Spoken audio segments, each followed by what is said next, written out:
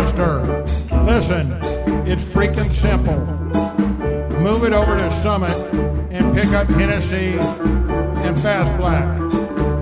Jump on 30 and hump it to Merrick. Take a left for two blocks to Lovell and then ride them on down to Pentecost. Shot done. I was over at one of those record collector houses in Fort Worth digging some sounds. The owner came home just as I broke one of his valuable records. The scene got tense.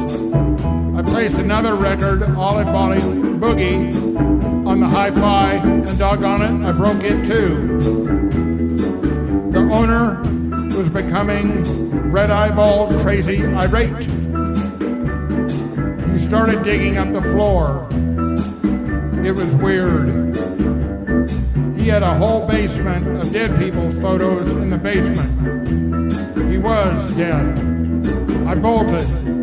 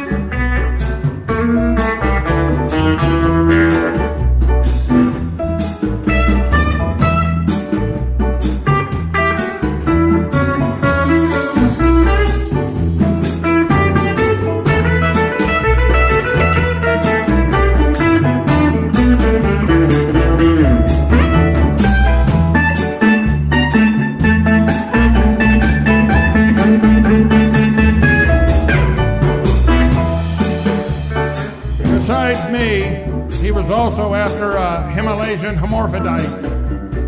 We split up.